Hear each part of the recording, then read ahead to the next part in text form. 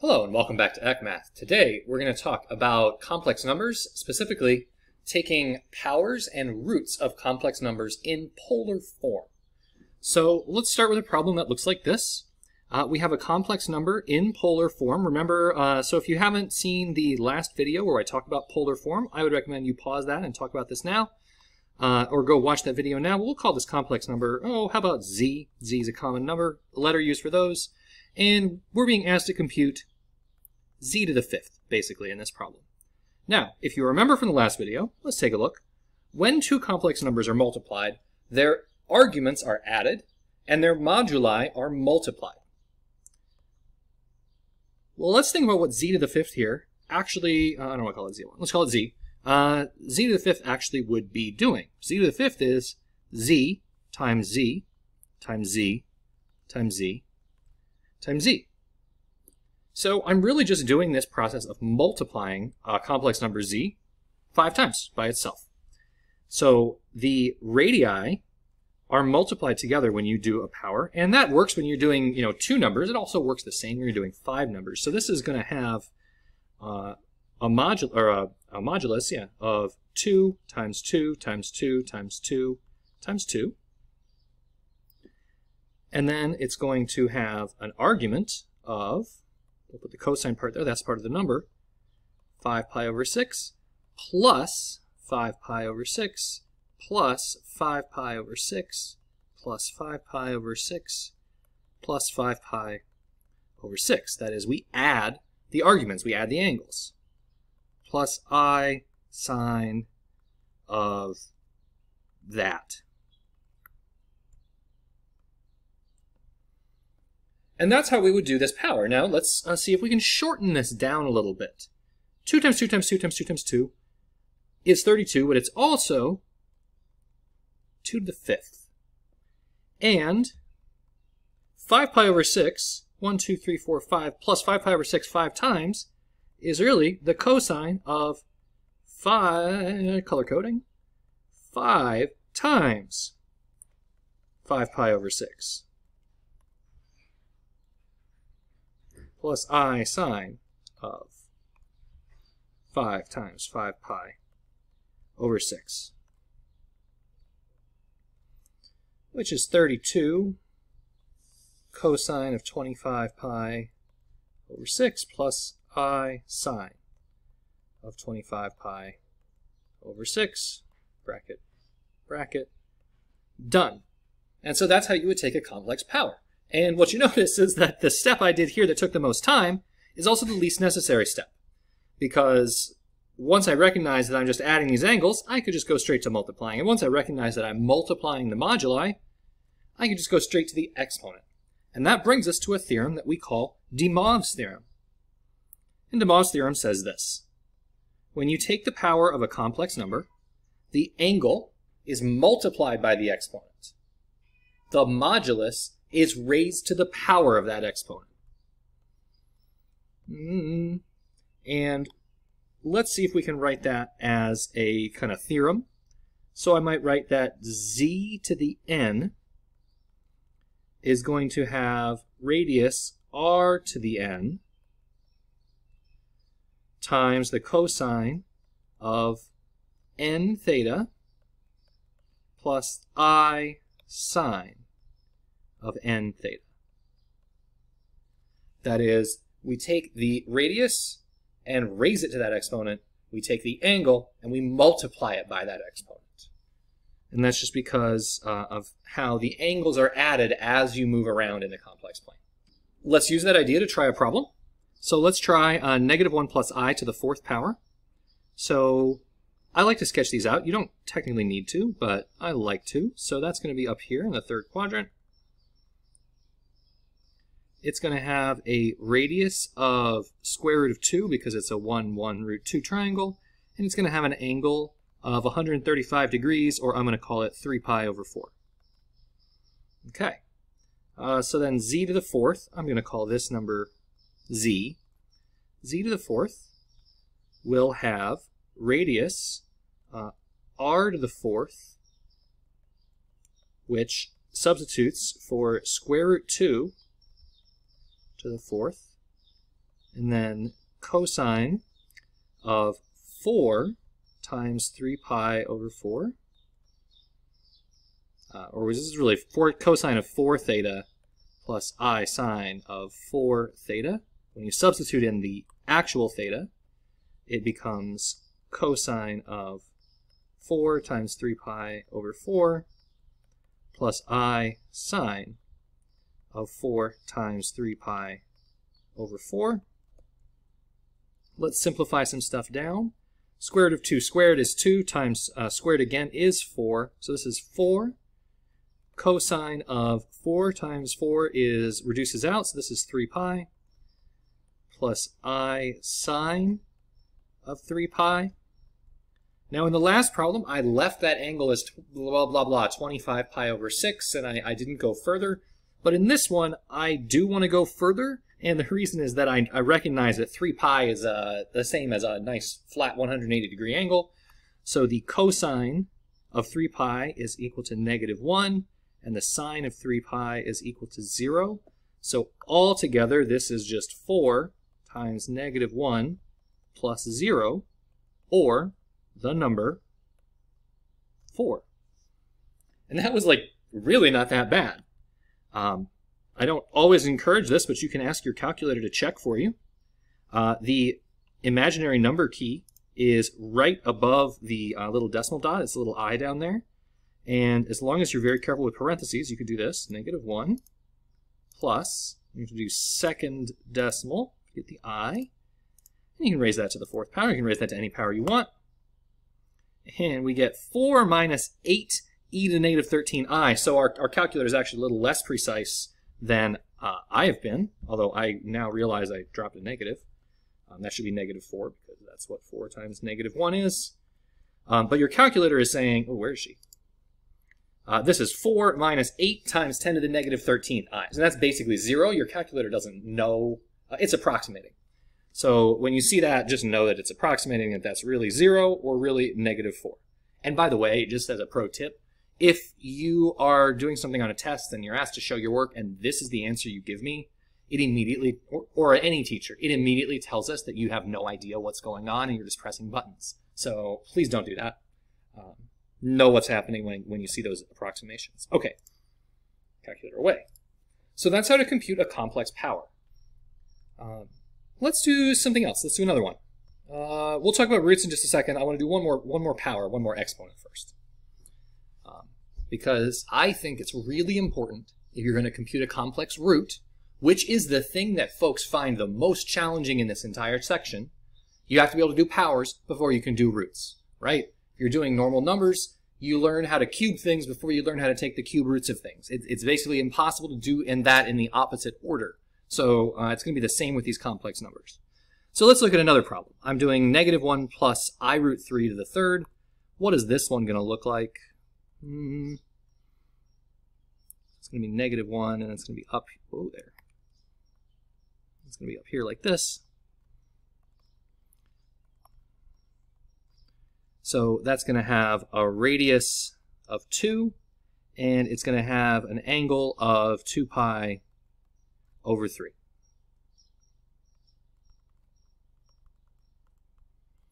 All right, so if I'm going to compute z to the third here, then it's going to have radius of 2 to the third. So I'm going to speed things up a little bit.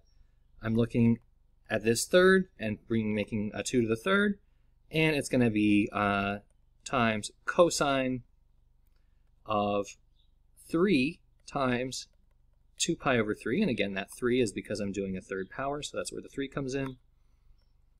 Plus i sine. Now, I know what 3 times 2 pi over 3 is. That's just 2 pi. And this is also just 2 pi. So this is really just 8. Cosine of 2 pi is 1, plus sine of 2 pi is 0, 0i, or just equal to 8. Hooray! So we've successfully kind of uh, cubed a complex number, but I want to talk about what we actually just did. We just found a number, z, such that z to the third is equal to 8. Can you think of any other number z such that z to the third is equal to 8? How about 2? It's true that 2 to the third is equal to 8. Oh, interesting. And if I had asked you up until about now, what is the cube root of 8? That is root with a little index and an 8 underneath. You would have told me, oh, Mr. Eck, I know that, I know that. It's 2. And I would say, why is that 2? And you'd tell me, because 2 to the third is 8. But now something interesting has happened. There are more cube roots of 8 because it is also true that negative 1 plus i root 3 to the third.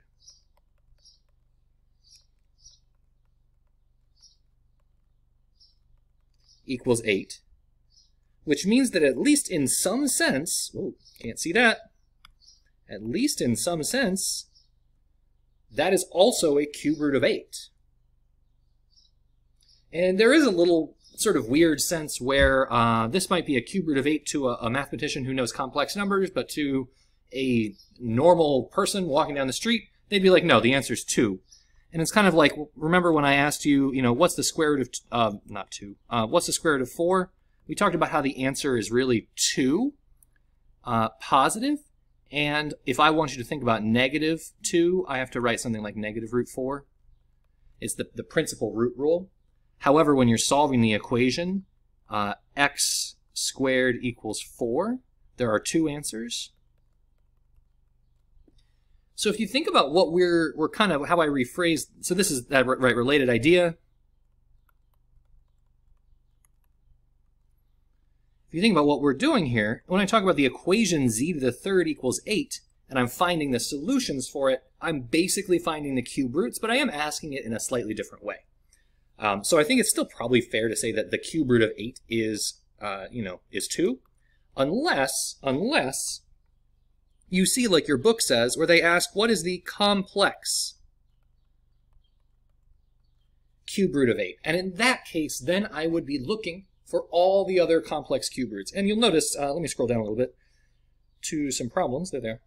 You notice that, that that is what your book does, right? They say, what are the complex cube roots of 20, this number, what are the complex fifth roots of that number? We're going to do both of those at the end of this video, um, but we have to do some other problems first. But also, there's another really important related idea, and it's the fundamental theorem of algebra.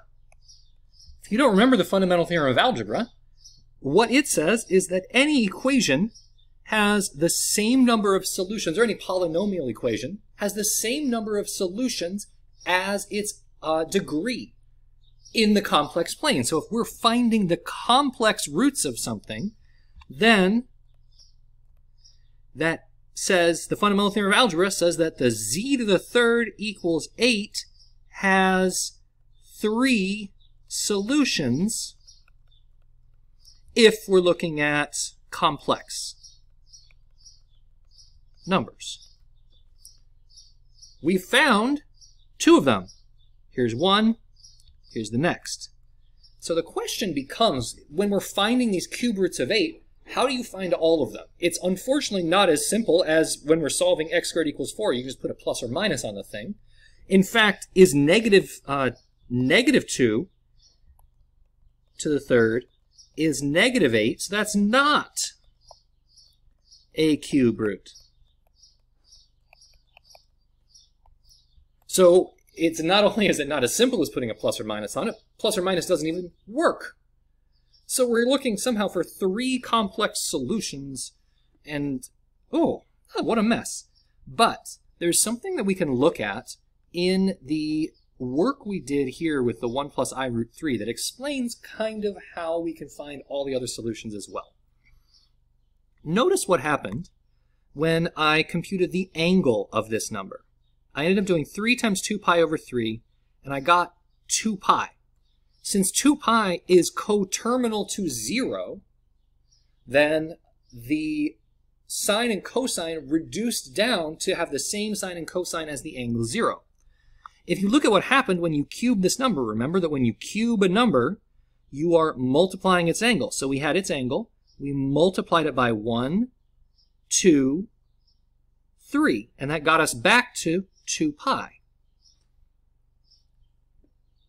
When you think about the original solution of, where is it, 8, or no, 2, we're looking at the cube roots of 8, 2, what's the angle at 2? Well, it's just 0. The theta is 0. So we had 0, 2 pi. What if there was another solution that resulted from going around the circle, there was some angle out somewhere over here, such that if we went around the circle once, we would land around here, and we went around again. I clearly didn't draw this very well to scale. We would get back to the uh, 2 pi mark, or the 0 mark, but instead of being 0 or 2 pi, it would be at 4 pi. If I could get the angle inside of here to be 4 pi, then I could find the other root. Hmm. By the way, there is a formula for this, and we are going to show it to you. But I just want to kind of logically think through it first, because I, I, think you don't need the formula, and if you leap too quickly to a formula, it, it can kind of mess you up. Um, so I'm going to get rid of this stuff.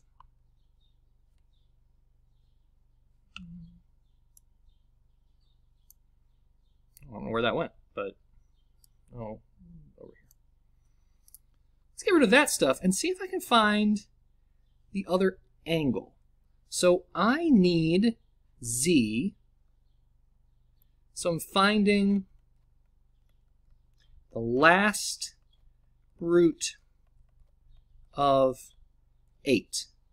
So I need some z such that z to the third will be 2 to the third cosine of mm plus i sine of mm. And I need the mm to be either 0, 2 pi, or 4 pi. But what's going on in the mm? Well, when I do z to the third, I'm taking some angle and multiplying it by 3.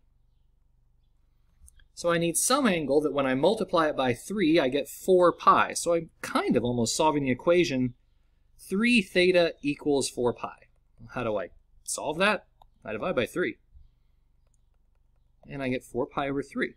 So at the angle 4 pi over 3,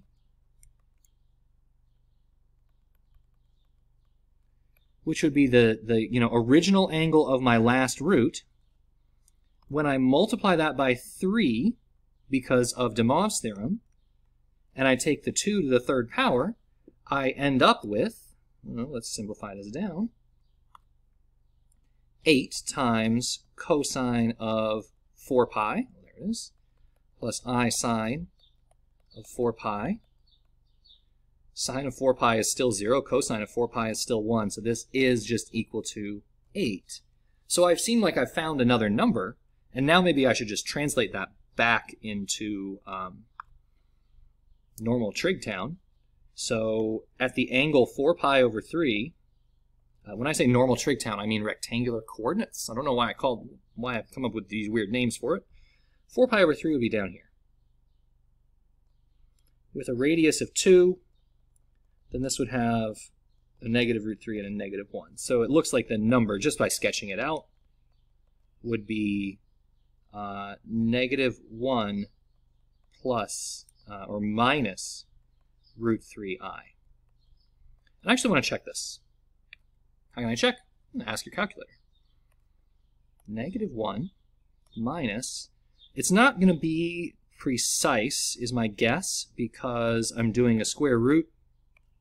So I'm going to get an approximation. But what happens if I take this to the third? Do I get something really close to 8? Well, I guess because the complex part dropped out. I do get 8. And so how did I know that? Well, I knew that because I knew that I needed my angle to reduce down to, to basically 0 or 2 pi. I'd already done 0 and 2 pi, so the next coterminal after that would be 4 pi. Um, and so it turns out that to find the third cube root of 8, I just have to do negative 1 minus root 3 i.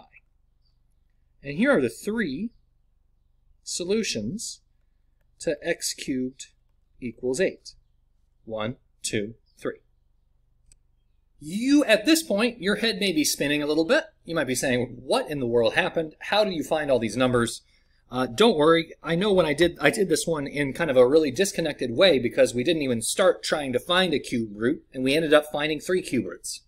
So let's go to another problem where we're actually seeking out the cube roots of some complex numbers. And that's what we'll do with the rest of the video.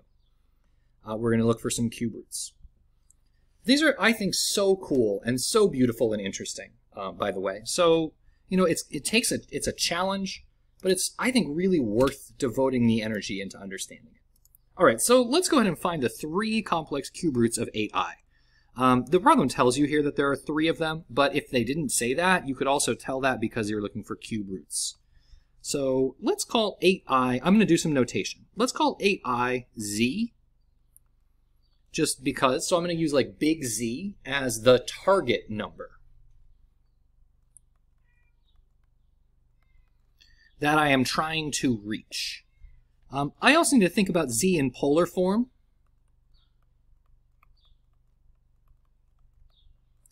Uh, where's 8i? It's up here with a radius of 8. So this is really going to be 8 cosine of pi over 2 plus i sine of pi over 2. So that's z in polar form. Now what I'm trying to find are some other numbers, why don't we call them r for root? I'm not sure that that's a standard notation. You know, they probably use Z or C or something. Actually, wait, I'm going to use C. C for complex root.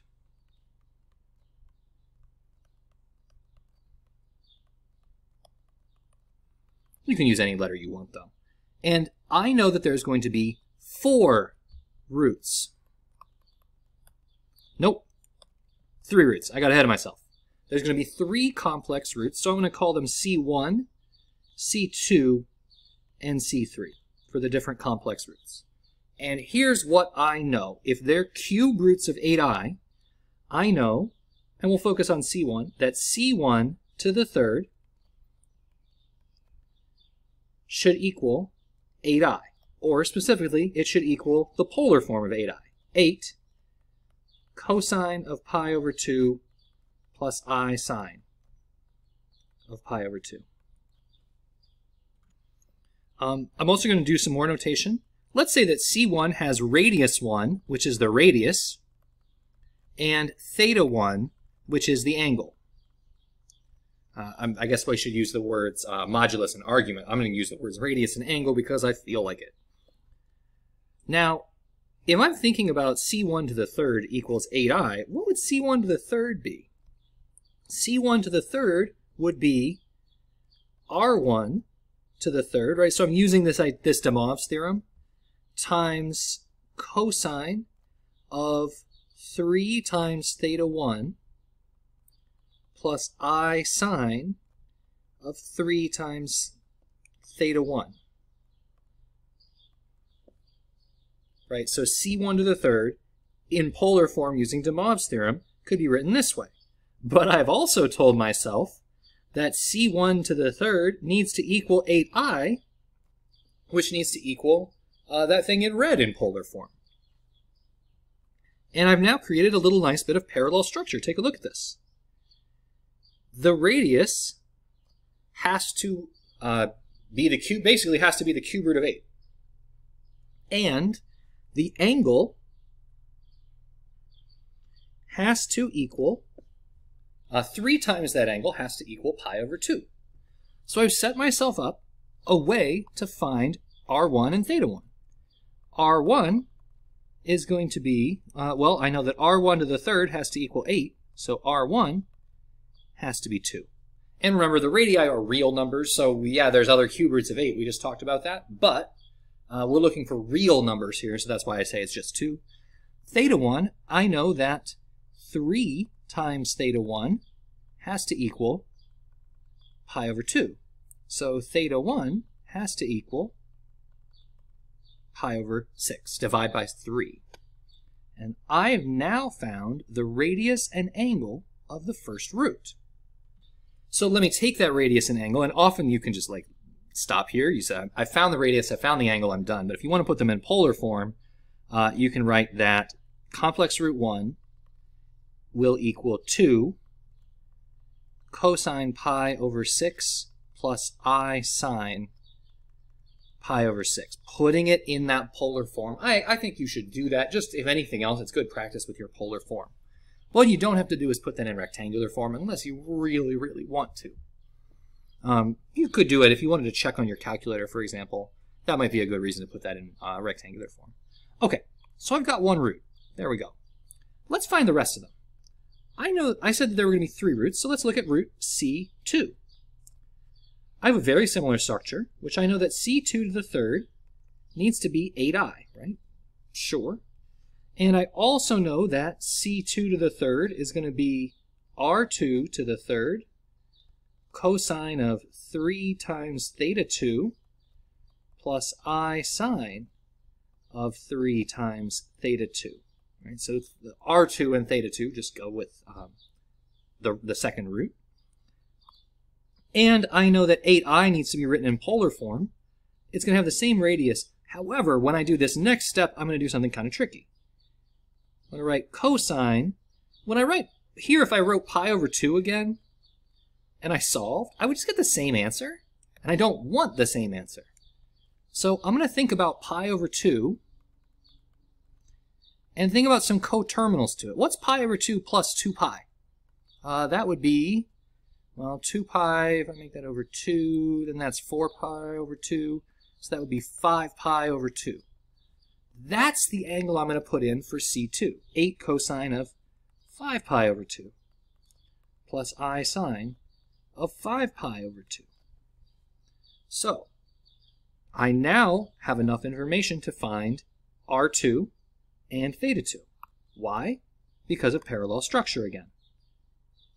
I know that 8 has to be R2 to the third, and I now know that 5 pi over 2 has to be 3 times theta 2.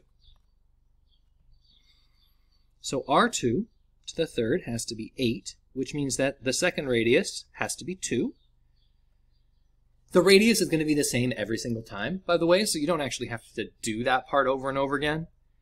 I also know that uh, 3 times theta 2 is going to be 5 pi over 2, which means theta 2 is going to be 5 pi over 6. When you divide by 3, it's like multiplying the denominator of the other side by 3.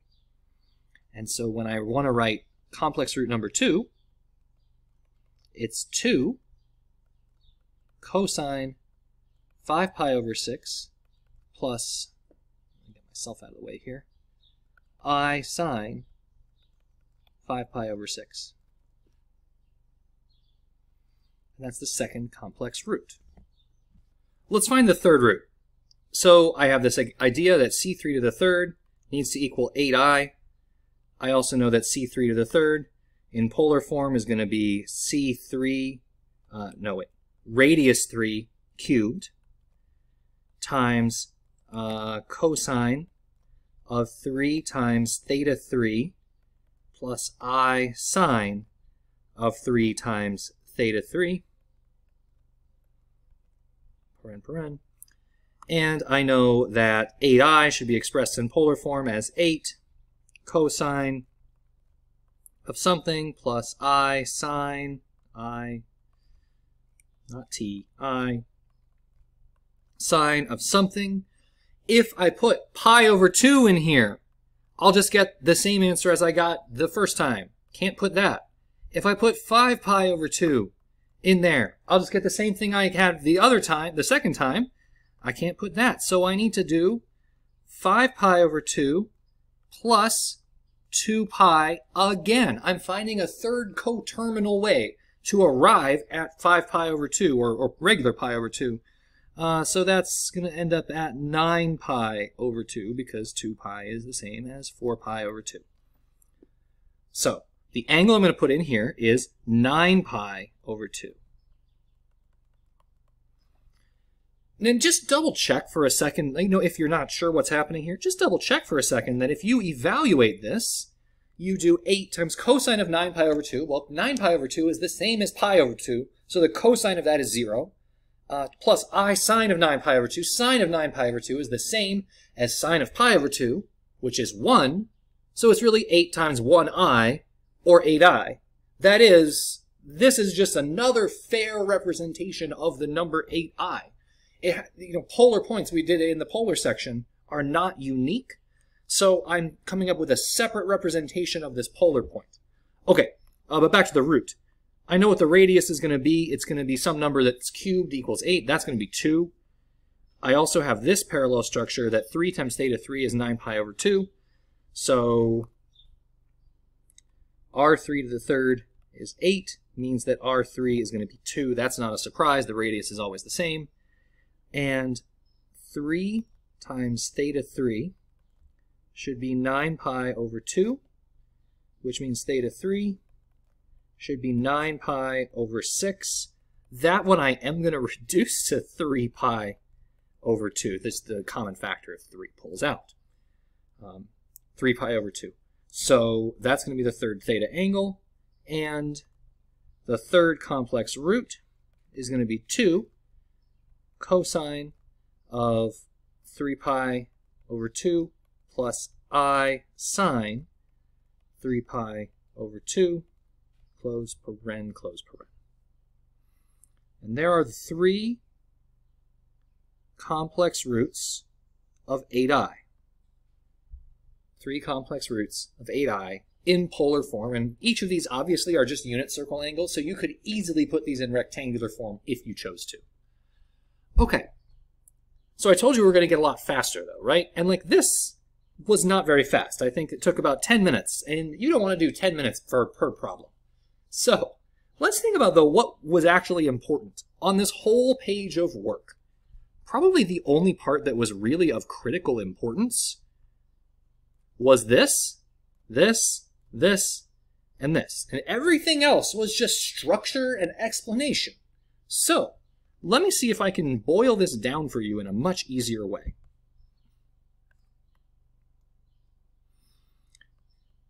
When you're doing a complex root,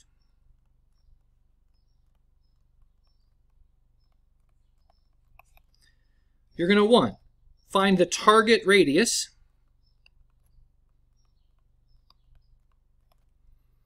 and then take the nth root of that. That's going to be the same for every root. So uh, in the example, you know, we had uh, 8 was the radius of uh, 8i, and the cube root of 8 is 2. That's going to be the radius of the roots. Two, you're going to find the target angle. And list out n coterminals of that angle. I guess technically we're going to list out n minus 1 coterminals if we also count the angle as an angle we're going to list. So in the example, the target angle was pi over 2, but also I thought about 5 pi over 2, that is adding 2 pi, and uh, 9 pi over 2. So I list out the three, uh, you know, smallest coterminals inclusive, including itself. Um, and then 3, divide each angle by n. n is the index of the root. We'll say a complex nth root. Divide each angle by m in the example. Then we got pi over 2 over 3 or pi over 6. We got 5 pi over 6. And we got 9 pi over 6, which we reduced.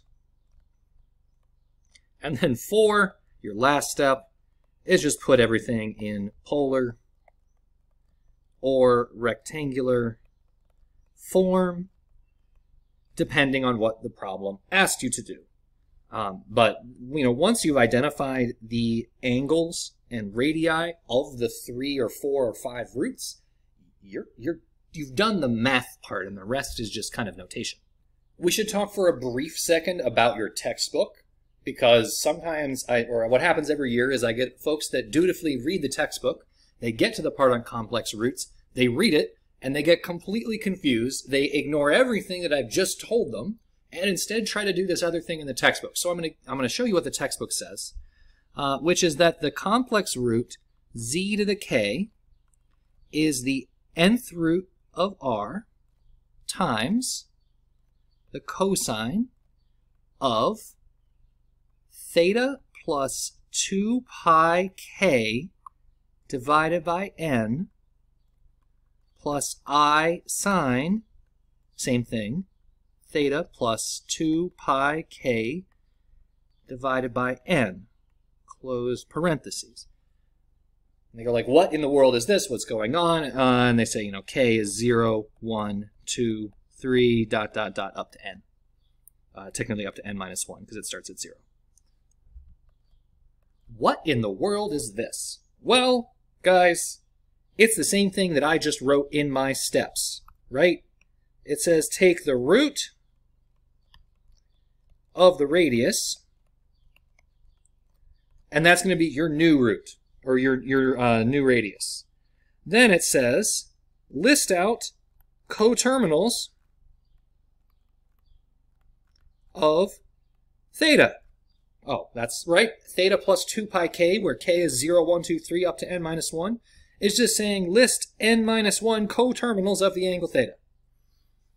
And then divide by n is just what I said. Divide by n.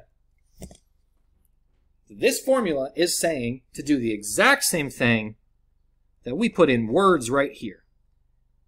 Um, and yet somehow, and you're welcome to use the formula, I personally don't like the formula because it ends up, you know, for such a simple task, I end up writing a lot of unnecessary kind of garbage that I don't need until the end of the problem. And so that's why I don't actually like that formula, but it does work.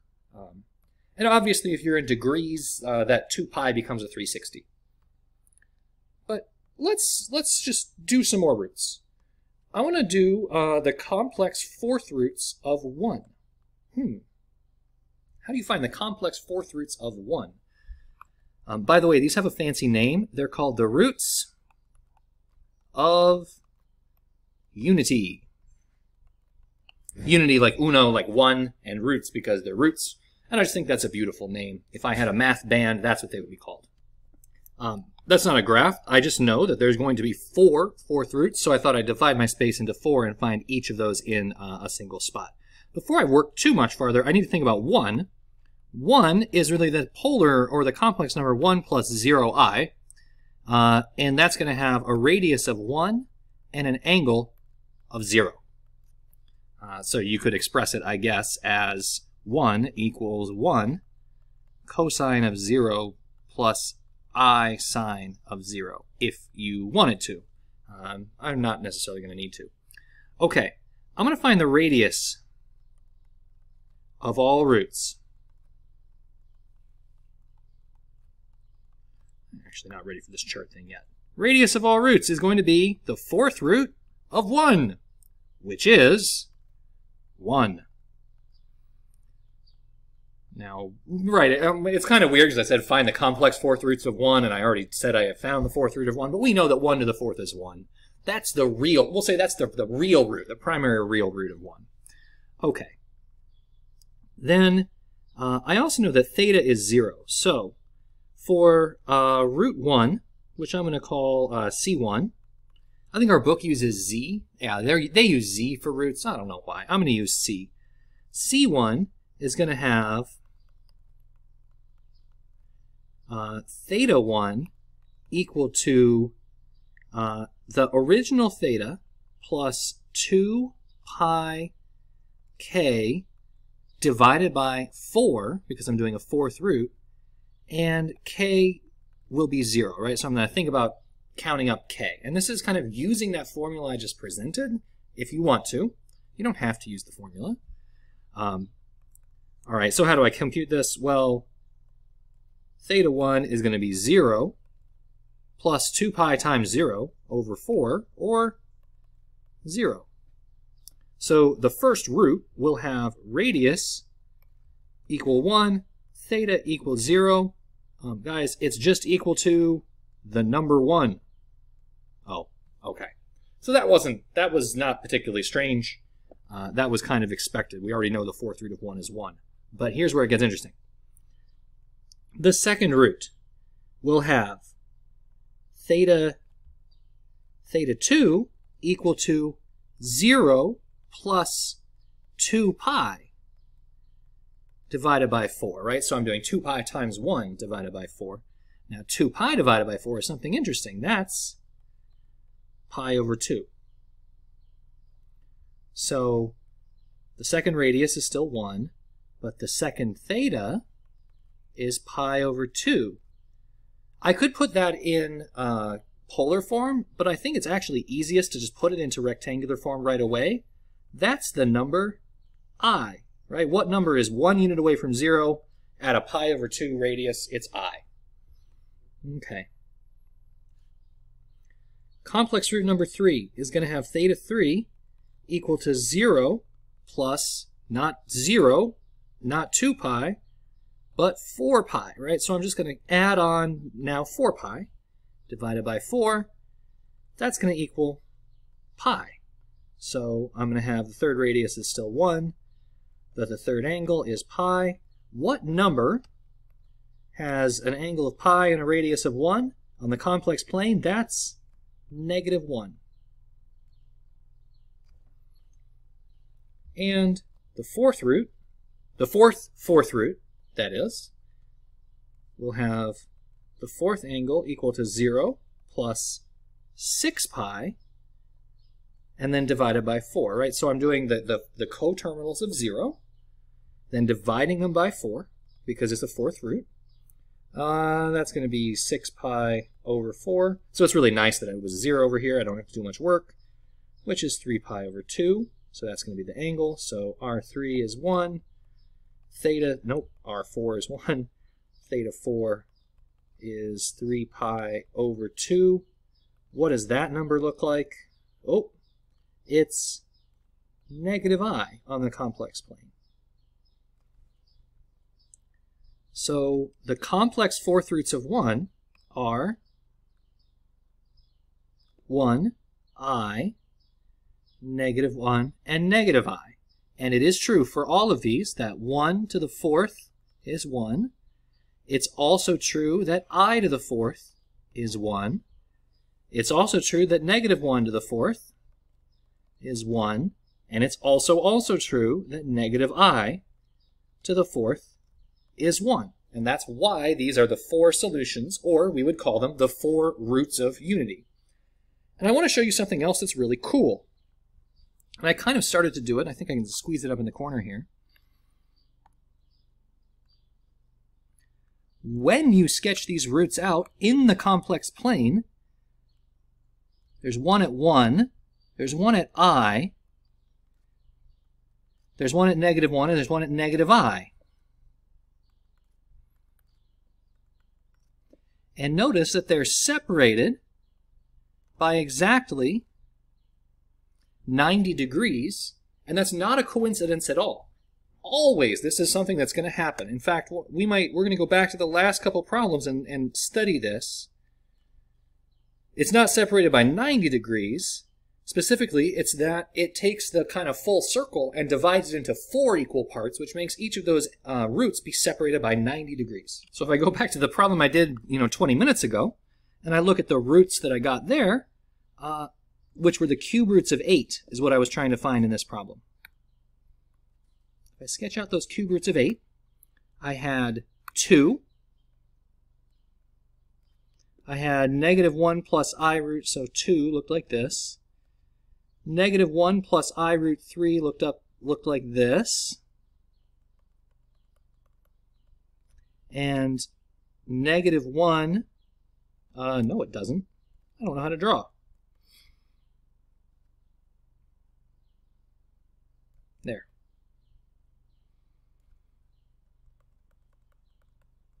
Negative 1 plus i root 3 looked like that. And root 3 is, yeah, that's about right. And I also had negative 1 minus i root 3. And notice that the angular separation between each of these roots is uh, 2 pi over 3. 2 pi over 3. 2 pi over 3, which actually kind of might hint at you a shortcut. I did all of this work to find the last root. I'd already found two of them, one by coincidence and one because it was equal to 2. And knowing 2, I could have identified that this is the angular separation, and I could have just added 2 pi over 3 to this angle to find those. So that actually is a trick, and I will use that often um, when I'm you know doing these for fun. But it's something that's really cool, and it's actually why I think these are so beautiful, is that they really do have that kind of uh, arrangement around the complex plane. So you can use that to, that trick to solve. You can also just use it as a check, right? If you if you have your roots and you plot them out, and they don't look like they're in kind of a nice arrangement, a nice symmetric uh, setup, you've done something wrong. It's a good self-check. All right, we're going to do three more problems.